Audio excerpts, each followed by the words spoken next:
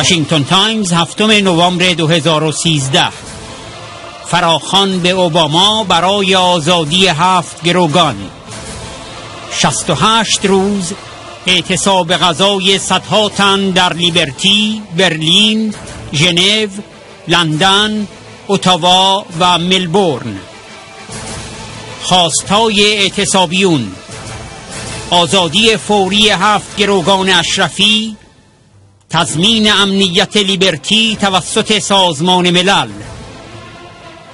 رئیس جمهور اوباما تا آزادی هفت گروگان کمپ اشرف و حفاظت پناهندگان در کمپ لیبرتی به عراق سلاح ندهید. صدها تن 68 روز است در کمپ لیبرتی برلین، ژنو، لندن، اتاوا و ملبورن در اعتصاب غذا به سر می‌برند و خواهان آزادی بلادرنگ هفت گروگان کمپ اشرف و تضمین امنیت ساکنان کمپ لیبرتی توسط سازمان ملل هستند. در یک نامه مشترک به رئیس جمهور آمریکا باراک اوباما سناتورهای ارشد جان مکین، کار لوین، جیمز اینهاف، رابرت منندز، باب کورکر، لینزی گراهام نوشتند ما از شما می خواهیم که شما برای مالکی روشن کنید که نفوذ بدخیم رژیم ایران در دولت عراق یک مشکل جدی در روابط دو جانبه ما به ویژه برای کنگره است. حملات علیه اشرفی ها در عراق انزجار آور هستند. به ویژه به این خاطر که دولت عراق تعهد داده بود که از این افراد حفاظت نماید. نخست وزیر مالکی باید درک کند که اقداماتی مانند اینها میباید متوقف شود. 45 نماینده کنگره در نامه‌ای به اوباما نوشتند ما باید در مسئول شناختن دولت عراق در این موارد بهتر از این عمل کنیم. باید عواقب سخت و واقعی برای عدم حفاظت از اشرفی ها در نظر بگیریم.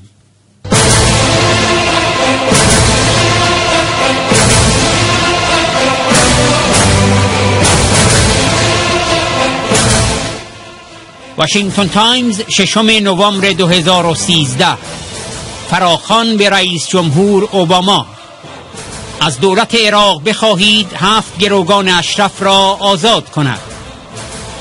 مقامات پیشین آمریکا از هر دو حزب خواستار توقف کمک و سلاح به عراق هستند تا هفت گروگان اشرف آزاد بشوند واشنگتن تایمز ششم نوامبر 2013 15 آبان 92 67 روز از اعتصاب غذا در لیبرتی، برلین، ژنو، لندن، اتاوا و ملبورن میگذرد. اعتصابیون خواهان آزادی هفت گروگان اشرف و تضمین امنیت لیبرتی توسط سازمان ملل هستند. ایرانیان مقیم آمریکا در تظاهرات خود دیدار نوری مالکی را از کاخ سفید محکوم می کنند. نیوت گینگریچ رئیس پیشین کنگره غیر قابل تصور است که در اول سپتامبر افراد مسلح وارد کمپ اشرف شوند و دولت مالکی هیچ اطلاعی از آن نداشته باشد. این غیر ممکن است.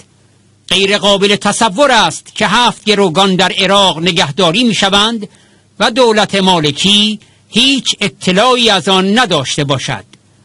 اما حقیقت این است که آنها حکومت مالکی به عنوان متحد دیکتاتوری حاکم بر ایران که البته ضد هر نیرویی است که می‌خواهد آزادی را در ایران برقرار کند عمل می کنند.